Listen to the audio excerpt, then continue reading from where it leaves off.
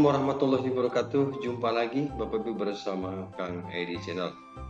Baik Bapak Ibu, kali ini saya eh, akan menyampaikan terkait dengan tugas pokok yang ketiga ya. Tugas pokok kepala sekolah yang ketiga yaitu bidang supervisi.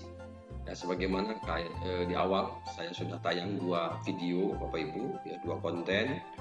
Eh, yang pertama adalah eh, bidang kewirausahaan, kemudian yang kedua bidang manajerial, dan yang ketiga ini adalah tugas pokok kepala sekolah bidang supervisi. Apa saja sih sebenarnya tugas pokok kepala sekolah bidang supervisi itu? Uh, begitu Bapak Ibu. Uh, selamat bergabung bagi yang baru saja bergabung dan menemukan channel ini. Jangan lupa ya di subscribe yang belum, kemudian di like, komen dan di share apabila uh, materi ini sangat bermanfaat, materi berguna Bapak Ibu. Silahkan Bapak Ibu berbagi ya terkait dengan materi ini. Baik Bapak Ibu, tugas pokok Kepala Sekolah Bidang Kewirausahaan ya. Ini masih di Permendikbud nomor 6 tahun 2018 Bapak Ibu yaitu pasal 15 ya. E, salah satunya ini yang ketiga adalah supervisi. Supervisi kepada guru dan tenaga kependidikan. Baik Bapak Ibu. Apa sih supervisi Bapak Ibu?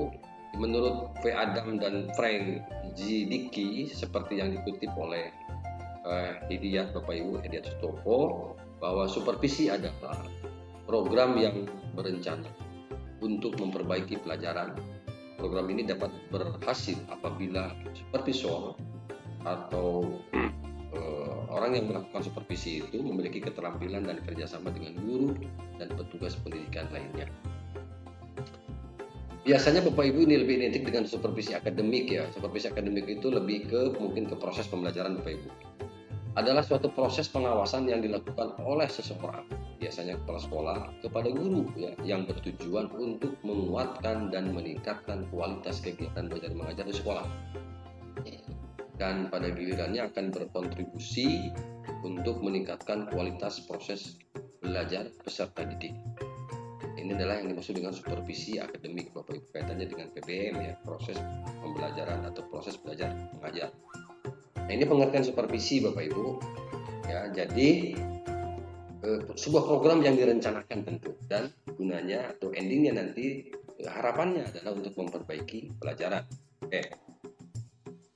Tugas pokok kepala sekolah melaksanakan supervisi kepada guru dan tenaga kependidikan ini memiliki beban peran dan tanggung jawab memantau, membina, memperbaiki proses belajar mengajar di, sekolah atau di kelas. Kemudian tanggung jawab ini dikenal sebagai tanggung jawab supervisi. Ini salah satu tugas pokoknya dari e, bidang supervisi ya untuk kepala sekolah dan tenaga pendidikan. Baik. Langkah-langkahnya untuk menyusun rencana supervisi akademik itu apa, apa saja? Langkah-langkah untuk menyusun perencanaan supervisi itu. Yang pertama merumuskan tujuan. Jadi apa sih tujuannya dilakukan supervisi ini? Kemudian menetapkan jadwal kapan akan dilaksanakan.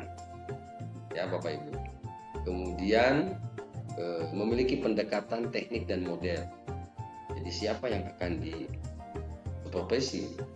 Pendekatannya apa yang akan dipilih? Kemudian tekniknya bagaimana?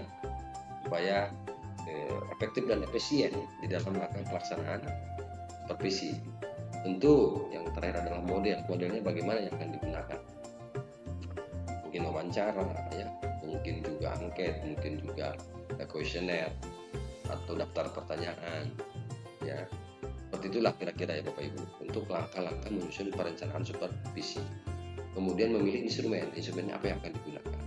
Nah, jadi persiapkan dulu Bapak Ibu ini penting sebagai bahan evaluasi tentunya pada para guru dan tenaga kependidikan termasuk evaluasi bagi sekolah.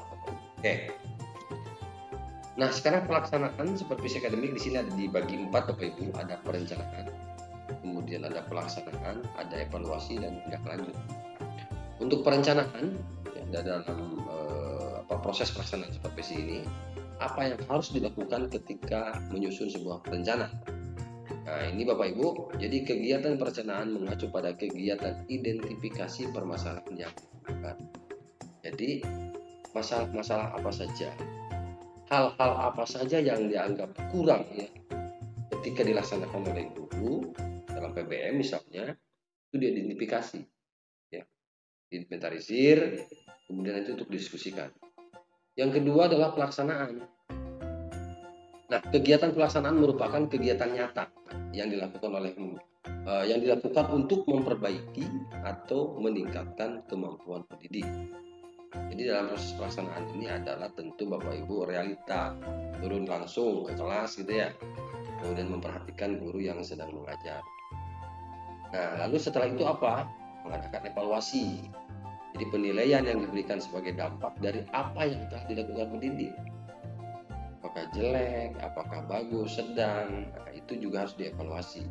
Bagian-bagian mana yang dianggap kurang untuk diperbaiki dan bagian-bagian penting yang dianggap cukup itu ditingkatkan tentunya. Kemudian pelaksanaan berikutnya adalah tindak lanjut. Tindak lanjut dari apa? Dari kegiatan yang sudah dilakukan. Tindak lanjutnya mau bagaimana? Ya begitu. Ketika menemukan permasalahan perangkat pembelajaran misalnya, maka tindak lanjutnya bisa dilakukan eh, di sekolah dengan cara misalnya mengadakan kegiatan in-house training misalnya atau di komunitas seperti di KKG, KKPS gitu ya, atau KKKS. Itu Bapak Ibu. Oke. Apa saja target yang akan disupervisi? Ya, jadi targetnya apa yang pertama perangkat pembelajaran. Ya. Kemudian apa juga yang disupervisi yaitu pemantauan rencana pembelajaran. Kemudian supervisi apalagi proses pembelajaran dan supervisi penilaian hasil belajar. Ini harus menjadi target ketika akan melaksanakan supervisi. Nah, prinsip-prinsipnya apa saja? Dia ada prinsip, jadi prinsip di dalam melakukan supervisi. Menurut Dodd ya, dalam Kemendiknas tahun 2010 bahwa prinsip-prinsip supervisi akademik di antaranya adalah praktis, ya maaf, praktis, kemudian sistematis, objektif, realistis, antisipatif, konstruktif, kooperatif, kekeluargaan demokratis, aktif, humanis, berkesinambungan terpadu dan komprehensif. Wow, luar biasa. Itulah prinsip-prinsip yang harus dipegang oleh kita sebagai kepala sekolah di dalam menerapkan atau di dalam melaksanakan tugas kita salah satunya yaitu pervisi tadi. Jadi prinsipnya apa itu harus praktis, tidak berbelat-belit, kemudian sistematis, ya, tersusun rapi, objektif itu real apa adanya, termasuk dengan realistis sebenarnya ini tidak jauh beda antara objektif dengan realistis kemudian diantisipatif konstruktif dan lain-lain. Oke itu adalah prinsip-prinsip supervisi akademik baik bapak ibu kita lanjut. Tujuannya apa nih? Nah, ini dari tadi kita bahas terus ya. Tujuannya apa sih supervisi itu? Gitu ya. Nah, tujuannya apa? Tujuannya itu uh, terutama untuk supervisi akademik nih ditekankan tujuannya adalah ditekankan pada perbaikan kualitas kerja guru dalam proses belajar mengajar dengan meningkatkan kualitas guru sebagai pengajar. Bapak Ibu. Jadi tujuannya adalah meningkatkan kualitas kinerja guru baik itu sebagai pengajar maupun tugasnya sebagai mengajar. Ini tentu yang menjadi bahan evaluasi kita. Ya bagaimana proses ABM itu berjalan lalu di bagian mana yang dianggap kurang dan di bagian mana yang perlu dianggap yang perlu kita tingkatkan itu tentu harus didiskusikan dengan guru dan tenaga pendidikan lainnya di sekolah. Manfaatnya apa? Kalau tadi adalah tujuannya manfaat supervisi itu apa? Untuk meningkatkan mutu pendidikan. Ya, kemudian untuk memicu dan atau menggerak untuk memicu atau penggerak terjadinya perubahan Kemudian yang ketiga untuk meningkatkan kemampuan guru dalam hal memimpin dan membimbing. Inilah manfaat supervisi Bapak. Ini harus dicamkan terutama bagi teman-teman kepala sekolah baik yang lama maupun yang baru. Oke. Uh, tugas pokok ya keuangan juga ada. Maaf ya ini adalah uh, supervisi ya nanti keuangan mungkin di bagian lain di, di manajerial.